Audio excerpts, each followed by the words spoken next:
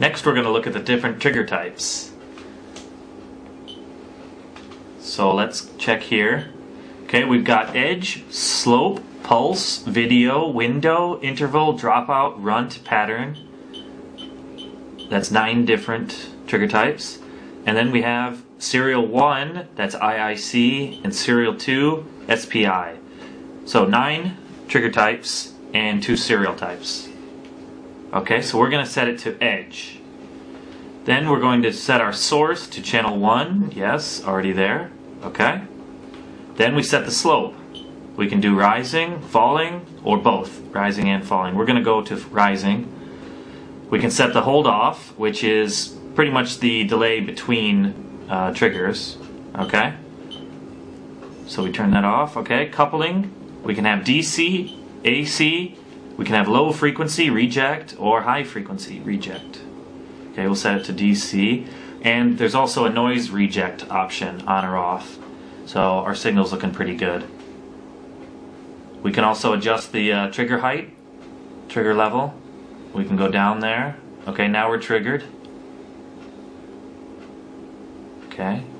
Push the knob, it'll zero out. Okay, now we set it to falling. Both. Rising, falling, rising. Okay. Set the hold off time, so there's a delay.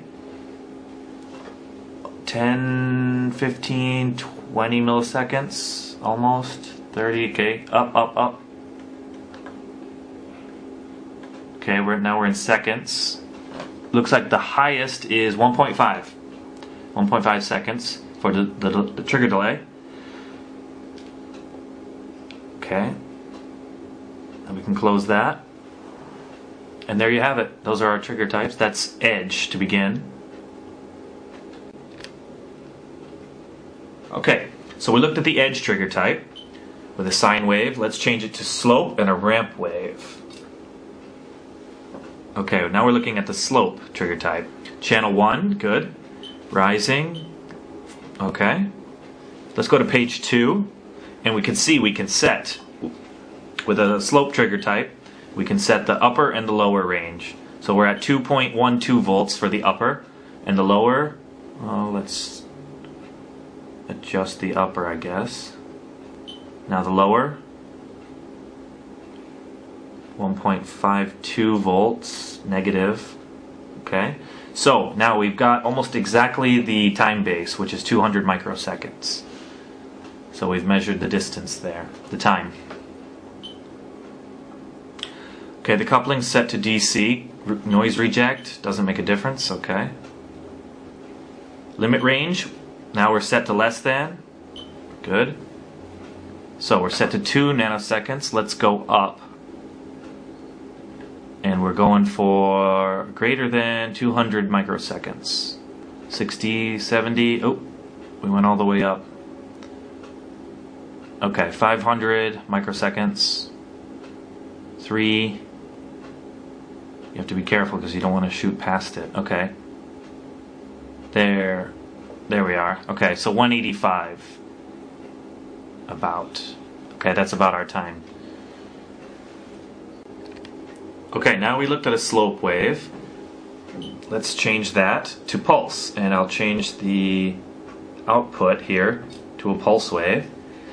So we can measure that. Channel 1, good. Polarity, positive and negative. Let's set it to positive. Limit range, we can go less than, good. Okay, page 2, we got DC, the coupling. Noise reject, doesn't make a difference, again, okay. So now, we've got it set to less than, so we'll stop it have a look. And then you can see it's about 200 microseconds per division, and that looks like almost exactly one division. So let's start it again. Now let's adjust the time to about 200 microseconds and see what the time is. Okay. So 218, almost there. 204, 203, 202, 201, up oh, 200. Okay, so it's about 201. 201 microseconds, okay, for each pulse. about one division. Okay, now we finished looking at the first, what is it, uh, first three trigger types. Okay, next we have video. Uh, I don't have a video generator at the moment, so we'll do that video another day. And the next one is, next trigger type is window, then interval, dropout, runt, and pattern. And we'll, serial one, serial two, and we'll look at those another day, yeah, in the future, on the next videos. Thanks for watching.